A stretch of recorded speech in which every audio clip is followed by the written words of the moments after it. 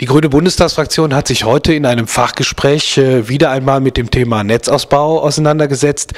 Wir äh, haben dabei die Frage diskutiert, wie kann man Bürger auch finanziell am Netzausbau beteiligen. Dahinter steht der Gedanke, dass das, was wir im Bereich der erneuerbaren Energien bei Windparks, äh, bei Solaranlagen bereits erfolgreich praktizieren, dass Bürgergenossenschaften Netzausbau betreiben, dass Menschen finanziell sich beteiligen, dass man das auch beim Stromnetzausbau macht.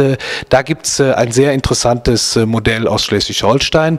Die schleswig-holsteinische Regierung ist, Landesregierung ist bisher die einzige Landesregierung ähm, unter dem grünen Energiewendeminister Robert Habeck, äh, wo ein solches Modell angedacht und entwickelt wird, zusammen mit dem Netzbetreiber Tenet.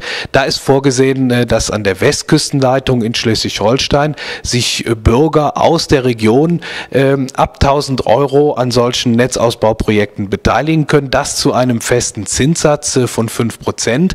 Äh, das ist eine sehr attraktive Anlagemöglichkeit, äh, wovon man sich verspricht, dass das auch die Akzeptanz solcher Netzausbaumaßnahmen erhöht.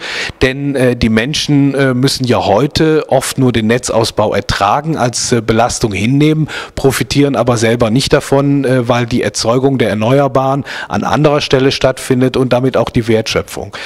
Wir sagen als Grüne, das ist ein Modell, das man weiterentwickeln muss. Äh, da wollen wir dran arbeiten. Ähm, das äh, haben wir uns als Bundestagsfraktion als Aufgabe genommen.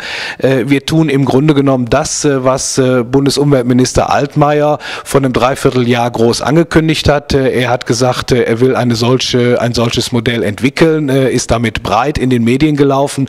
Wir haben aber jetzt von der Bundesregierung die Antwort bekommen, dass nicht einmal Konsens innerhalb der Bundesregierung herrscht, dass man überhaupt ein solches Modell weiter verfolgen will.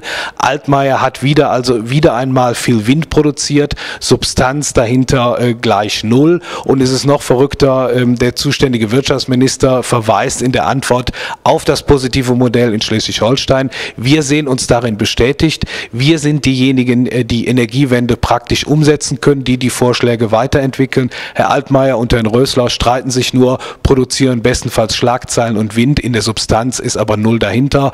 Äh, Bündnis 90 Grünen sind die Partei, die die Energiewende dann auch voranbringen können.